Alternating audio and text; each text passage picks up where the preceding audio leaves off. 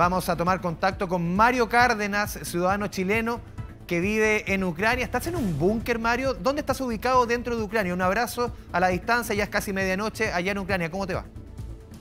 Hola, ¿qué tal? Eh, sí, esto es un tipo, disculpe que se apague la, luz automática. Eh, ¿Cómo se llama? Es como un tipo búnker. Bueno, en realidad hay una zona aquí eh, como a dos cuadras de los departamentos, que es como una tipo villa de departamentos, eh, y está como a dos cuadras y son varios eh, garage, ¿no? Mm. Físicamente, ¿en qué ciudad estás ubicado, perdón, Mario, para, para que nos podamos ubicar dentro del mapa de Ucrania? Sí. Estoy en Kharkov. Ya. Justamente ahí estaba mirando el, mapa, sí, y, y estamos, Kharkov, digamos, somos colindantes con, la, con las eh, provincias de, de, Lugansk y Donetsk. Sí, justamente preguntarte, Mario, ¿cuál es la situación? Porque veníamos reportando durante toda esta tarde bombardeos en esa zona. ¿Tú has podido escuchar eh, los sonidos? ¿Se están refugiando? ¿Estás seguro en estos momentos? Eh, seguro podría decir que no, o sea, seguro en el sentido de que hay como, eh, me estoy refugiando en el búnker, a ver si lo muestro, eh, que está debajo, tenemos ahí, no sé si se logra ver. Se ve perfecto. Sí. Ya, ahí se logra ver y tiene dos niveles, entonces cuando comenzamos a escuchar el bombardeo, que, que no es constante, esporádicamente, ya tomo, bueno, con la familia nos metemos ya abajo. Eh, y sí estamos bastante cerca, porque la ciudad, el centro de Kharkov hasta, hasta la ciudad, hasta la frontera son 30 kilómetros. Y la primera ciudad viniendo de Rusia hacia acá, la primera ciudad eh, se podría decir que parte justamente esta zona donde nosotros estamos. Entonces, de hecho, eh, yo estoy como a 200 kilómetros, perdón, 200 metros de, de, una avenida que es la que va justamente a, Rusia y habrán también otros eh, dos cuadras también que, que, también, por lo que yo escuché, están apostados ahí los, eh, los eh, militares para, digamos, repeler a, los, a, las fuerzas rusas que están entrando. Y hasta el momento al parecer se dice que, han, digamos, se han defendido bien, a pesar de que está, hay una minoría, esto es como el combate de David y Goliat. Sí, eh, a la distancia uno escucha tu voz, se te nota muy tranquilo, eso a uno le llama inmediatamente la atención, uno ve las imágenes y uno habla con Mario Cárdenas y dice, eh, realmente impresiona la tranquilidad con que, con que nos relatas. ¿Cómo has vivido tú esta jornada? Eh, ¿Cuál es la información tú, como muchos eh, ciudadanos que viven, eh, ucranianos, extranjeros que viven en ese país, eh, ¿cuál es la información que reciben? ¿Cuáles son los medios de los cuales se informan? más o menos, ¿cómo han vivido estas últimas horas? A ver, la gente es bastante tranquila acá y aunque yo parezco tranquilo, no, se imaginan de la manera que estoy. igual le quiero mandar un saludo a, todos los familiares, mi, mis compañeros circenses, yo soy artista circense, y por cosas de la vida, bueno, yo estaba trabajando en China, me vine para acá por una operación, vino la pandemia y aquí quedé. Eh, y están preocupados, obviamente. Y sí, nunca he vivido algo así y tan, digamos, a ver, para que tengan una idea, los bombardeos, eh, nosotros estamos, voy a hacer una, quizá una, comparación media estúpida, burda. Eh, estoy en Colina y los bombardeos están en, ahí al lado en Quilicura o quizás más cerca. claramente sirve mucho para, la referencia, estás hablando del sector norte de la capital. Sí, o sea, es, es estoy, como les digo, del centro de la ciudad a 30 kilómetros. Yo estoy a 10 kilómetros, o sea, 20 kilómetros y por lo que sé están a, ni siquiera a un kilómetro están los tanques y se escuchan los bombazos. Y comentaba también que eh, los, eh, tanques militares no entraron específicamente por la entrada principal, sino que comenzaron a entrar por, por caminos aledaños a la entrada principal, como una forma también de, de sorprender. Pero aparentemente lo han, han, repelido el ataque bastante bien, porque he visto imágenes que han mandado también a los teléfonos con, con tanques destruidos rusos, eh, aviones, helicópteros, eh, también militares. Entonces, hasta el momento se decía que, que la fuerza había entrado, la fuerza rusa había entrado a, a Ucrania, perdón, a Kharkov, pero al parecer no, porque todavía se escucha que están disparando hacia, hacia la zona de, de, de la frontera. Mario, preguntarte un poco las condiciones en las que te encuentras. ¿Tienes internet? ¿Qué temperatura hay en estos momentos? ¿Y con quién estás compartiendo ese búnker? Eh, yo estoy con la familia. Eh, mi familia, bueno, mi esposa es ucraniana. Tengo lamentablemente un hijito, bueno, lamentablemente por la situación que se está viviendo, un hijito de, dos años y medio. Eh, aquí, bueno, detrás mío tengo la otra puerta, que ahí tenemos también, hay calefacción. Abajo no hay calefacción, pero solamente nos metemos abajo cuando ya escuchamos los, bombardeos.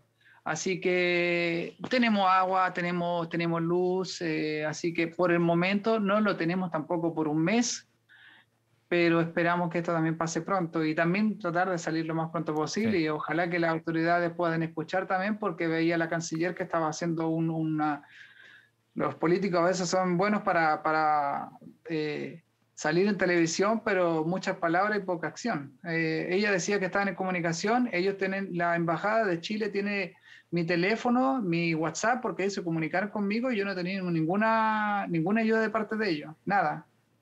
Sí, eh, Mario, ¿tienes, ¿tienes tu comunicación también con otros chilenos? se habla de más de 50 chilenos que viven dentro del territorio ucraniano. Tú nos decías las dificultades eh, o la nula comunicación que han tenido con el gobierno central en nuestro país. Eh, me imagino, lo primero, tienes comunicación con otros chilenos. Tu intención sería, eh, me imagino, volver a nuestro país, más o menos. ¿Qué, es lo que estás viendo tú de aquí en adelante? Se ve difícil, obviamente, en este escenario donde estás con una guerra recién comenzando, pero más o menos, ¿qué es lo que estás viendo un poco para adelante, dentro de lo que se pueda pronosticar? Claro, bueno, lo primero para mí es tratar de salir de acá tratar de, y no digo salir de, de, la ciudad, sino que salir del país. Eh, porque lógicamente ya ahora los eh, vuelos ya no hay vuelos, o sea, ustedes lo saben más, eh, más claro que yo, ya no hay vuelos, los aeropuertos están todos cerrados. Creo que por lo que mi esposa me estaba diciendo ahora, las fuerzas rusas también tomaron una, dos estaciones del tren, o sea, prácticamente se tomaron la, la, la vía, digamos, férrea eh, entonces tampoco ya por tren ya no se puede viajar a, Kiev. Eh, también el, por la mañana cuando vieron los bombardeos, porque partió a las 5 de la mañana a nivel, digamos, nacional de en Donetsk, en Kiev y todo eso, la, la otra, eh, en Borisfol, a las 5 de la mañana, entonces no hemos dormido nada. Y luego por la mañana se colapsaron también la, los autoservicios, entonces no tenemos gasolina como para salir tampoco. Eh, y está todo parado y eh, muestra también las calles de aquí de la ciudad y está, eh, es, un, es una ciudad fantasma. Toda la gente también se fue a los refugios, hay búnker debajo de los edificios, mucha gente también he visto en fotos, mucha gente en las estaciones del metro, así que claro, la gente está con miedo. Mario, preguntarte, podemos ver con quién estás, tu familia, tu hijito, en qué parte del búnker están ellos pues, ubicados. Tú estás en este momento ahí donde nos muestra la imagen, pero si nos puedes también mostrar en qué momento, en qué parte está tu familia. A ver, a ver si quieres. Dentro de lo que quieras mostrar también, obviamente, Mario. Sí, sí, sí. Ahí, bueno, están un poquito durmiendo todos. Claro. A ver si se ve. Sí, medianoche, pasado la medianoche allá en Ucrania. Sí, y lo peor que no hemos dormido nada. Si este, los bombardeos comenzaron a las 5 de la mañana y, y, la situación tampoco da para dormir. No, no, no, no se ha podido dormir. Así que sí, ha estado bastante preocupante. Eh, por momentos, por la mañana estuvo bastante, eh, mucho ruido de, de cañones, de tanques. Eh, luego hubo como una pausa a las 12, una del día y luego como a las 5 o 6 de la tarde otra vez y habrá estado una o dos horas de, bombardeo, bombardeo y, sobre todo ese horario estuvo bastante, bastante fuerte el tema de los bombardeos. Mario, ¿en la ciudad en donde tú estás hay algún tipo de toque de queda? Porque veíamos que eso se aplicaba específicamente a Kiev, pero en Kharkov, que es donde tú estás, ¿cómo son las medidas? ¿Reciben algún tipo de alertas cuando hay bombardeos? Mm. Sí, eh, le han estado comunicando a mi esposa que tienen grupos eh, de parte del gobierno, eh, están comunicando ahí lo que está pasando, si han entrado la, la fuerza rusa o militares rusos, también la alarma, que lamentablemente tampoco no sé qué habrá pasado, pero también eh, cómo iba a sonar la alarma para indicar eh, de qué manera tomar los resguardos. Eh, y cómo se llama, han estado eh, avisándonos, digamos, por vía, por vía internet, vía telefónica, eh, cómo va el, paso a paso. Y por lo que supe, eh, bueno, me dijo mi esposa que desde las 10 de la noche iba a haber un toque de queda hasta, hasta mañana, hasta creo que hasta las 10 u 11 de la, de la mañana. Sí, Mario, ¿cómo fueron las últimas jornadas previo al ataque ruso que, que, hemos visto, que hemos presenciado durante esta jornada? ¿Tú con tu familia, tus conocidos, pudieron prepararse dentro de todas las dificultades, me imagino, no sé, poder juntar agua, poder juntar insumos básicos. Eh, hemos recibido información de, diversos medios de todo el mundo en que claramente las autoridades eh, locales eh, quizás no previeron que esto quizás se desencadenara tan rápido, era más de la teoría de que quizás una guerra no era tan, no era tan probable en el corto plazo y que mucha población no se pudo preparar. ¿Cuál es la realidad tuya, de tu entorno respecto a una preparación dentro de lo que se puede para un entorno tan difícil para el día a día? Tengo una amiga que dijo, dijo una palabra, eh, envidio a los pesimistas que se fueron antes. Y la verdad que es así, porque en realidad la gente aquí no, no se esperaba que fuera a pasar esto. O sea, y también comentaba yo que eh, a mi familia que no se prevían ellos tampoco porque hay mucha, hay mucho eh, conexión con los rusos tanto eh, Ucrania con familia ucraniana aquí que son rusas, como también viceversa en el lado, en el lado ruso también hay muchos ucranianos. De hecho, mi suegro es ruso. Entonces, no se esperaban que, que fuera a pasar así.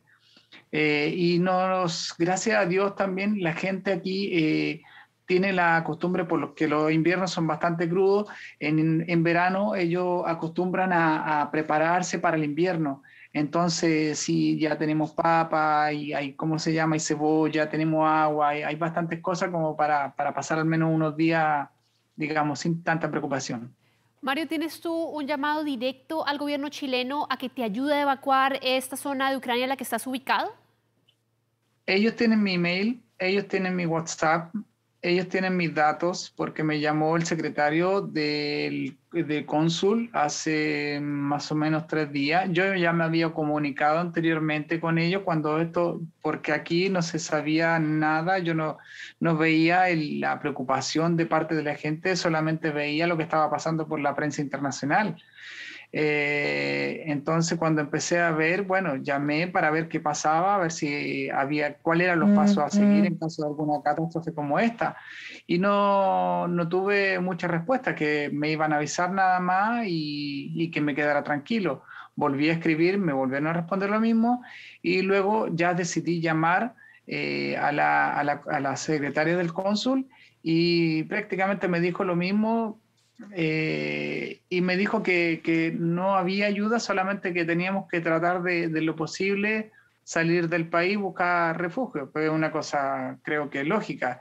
Y por la tarde, ya cuando comenzó todo esto, yo tengo el, teléfono de, de, la embajada, yo traté de llamar, no me contestaron, eh, traté de comunicarme solamente por vía WhatsApp, me dijeron que estaban tratando de, de hacer lo posible, pero de ahí yo traté de volver a llamar y nada, no he tenido respuesta de parte de la, de la embajada. Sí, Mario, en ese, en ese mismo sentido, eh, tu intención, tú nos contabas antes, es eh, lo primero es salir del país, salir de Ucrania.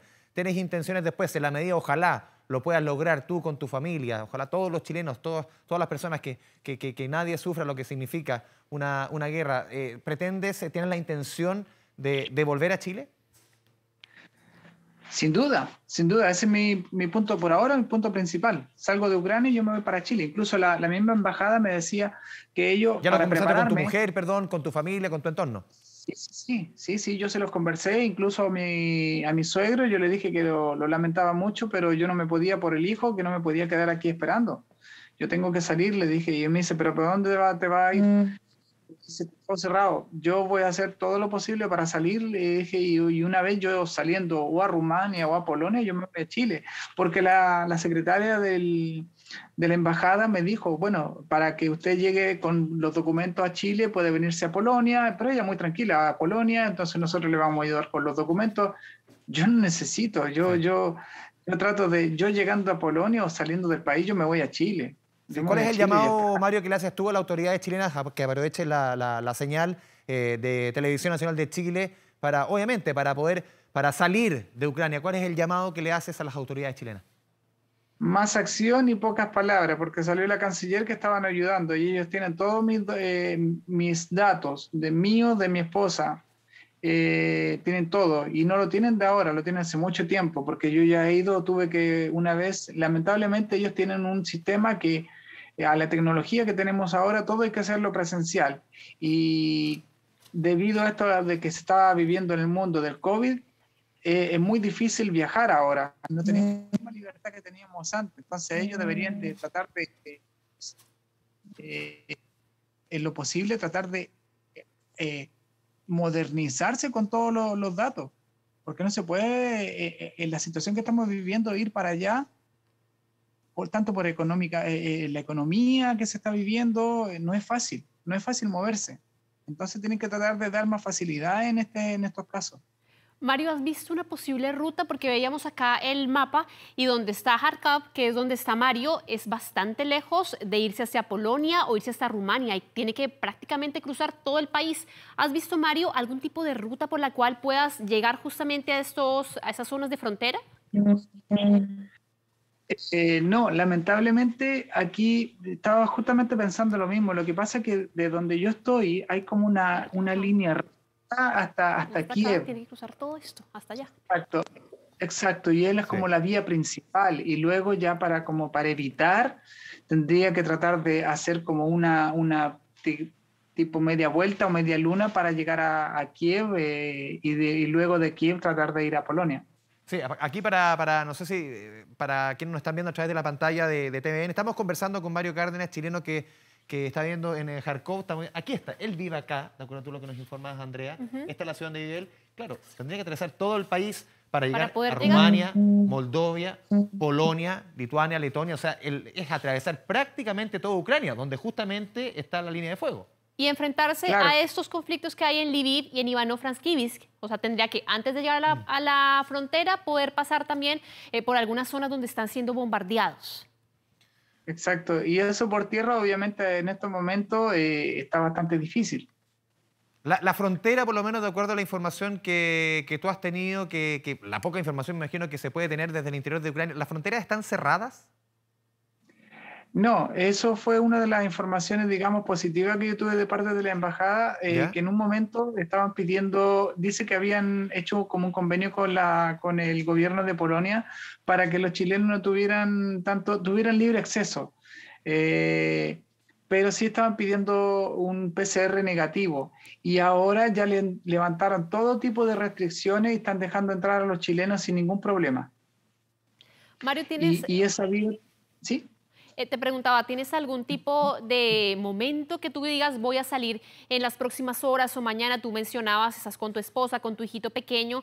Eh, ¿Han tenido algún tipo de conversación en torno a qué momento van ustedes a emprender esa travesía hasta las fronteras con Polonia o con Rumania? Sí, lo primero que, a ver, yo tengo una, una, parada por esto en estos momentos. El plan que tengo es hacer una parada que tengo unos familiares aquí, digamos, por parte de mi esposa, cercano aquí a, a camino a Kiev. Camino a Kiev es un, es un, pueblito bastante pequeñito, nosotros nos comunicamos con ellos y ellos dicen que está bastante tranquilo allá. Eh, entonces sería el punto principal tratar de salir y, y tenerlo ese, ese, pueblito como una plataforma para luego prepararme y seguir eh, emprendiendo el camino hacia, hacia Polonia.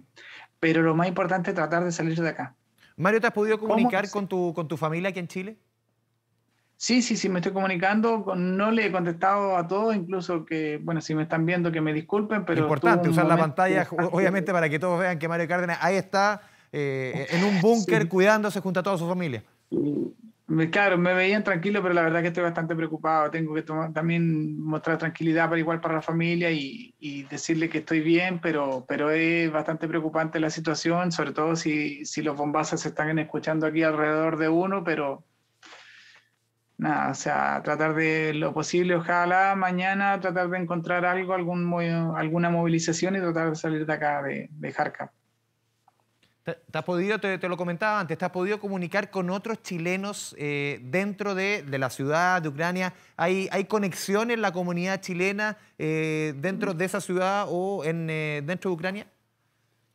No, no hay, o al menos que yo sepa, probablemente puede haber habido algún grupo, pero que, que yo sepa no. Eh, de hecho, yo aquí estaba trabajando eh, y se necesitaban latinos y no, no encontré muchos latinos. Hay muchos extranjeros, africanos, indios, pero latinos, la verdad que bien poco. Y chilenos, no, no, no tengo conocimiento de chilenos. Seguramente tienen que haber, pero no tenemos un contacto con ellos. Sí, eh, Mario. Sí, justamente para otra pregunta, porque estamos viendo, para que veamos nuevamente el, mapa, eh, la ciudad donde tú vives está muy cercana a Rusia.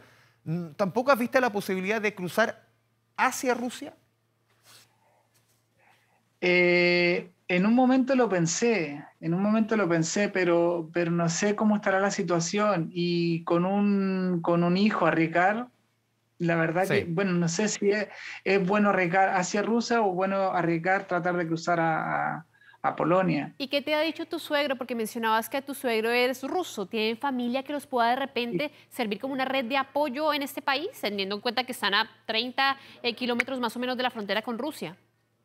Claro, bueno, contestando la pregunta anterior y aprovecho también de contestarte esta pregunta, lo que pasa es que eh, yo creo que debe estar cerrada la frontera porque con todos los bombardeos que han habido, yo dudo que esté, que esté abierto, dudo que esté habilitado, que esté pasando gente desde aquí de Jarka hacia Rusia, lo dudo.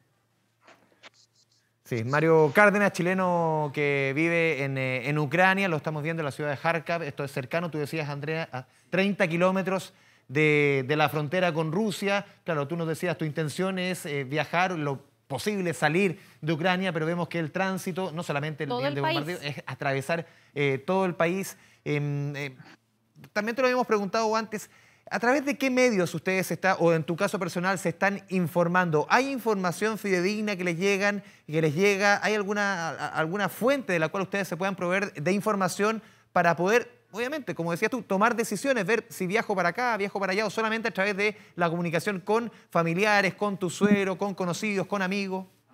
Sí, por ahora con, familiares, estaba siguiendo la, señal internacional de varios diferentes canales, eh, era creo que lo más certero, porque aquí siempre le ponían como paño frío al asunto.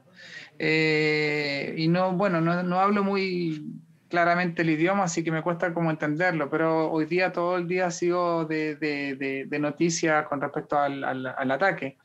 Entonces no tengo como una claridad, eh, están hablando del ataque, pero no están hablando de, de alguna vía de evacuación, ¿no?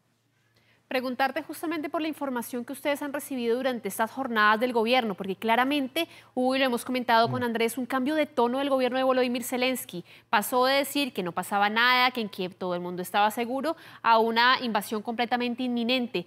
¿Tuviste esto venir en algún momento, Mario? ¿Viste o sentiste que estabas en peligro de una invasión con toda esta matriz informativa que había? Yo creo que no. O sea, si yo veía por la televisión internacional y, y yo veía que, que, supuestamente iba a haber una invasión y el país estaba trabajando todo normalmente, incluso hasta el día de ayer. Si yo veía eso, yo creo que, y aparte el, el, el, presidente siempre le puso paño frío y, y, la gente no se esperaba esto. Esto fue como una, una sorpresa, yo creo, para todos. Mario Cárdenas, te agradecemos eh, este diálogo, esta conversación eh, con TVN, Canal 24 Horas, enviarte a la distancia mucha fuerza, todo el cariño, toda la suerte. Ojalá que tú y tu familia puedan salir de Ucrania, que tengan la mejor de las suertes. De verdad, desde Chile te mandamos un gran, gran abrazo y que tengas toda, toda la fortuna en estos difíciles momentos. Vale, muchas gracias. Un saludo a toda la familia, que estoy bien.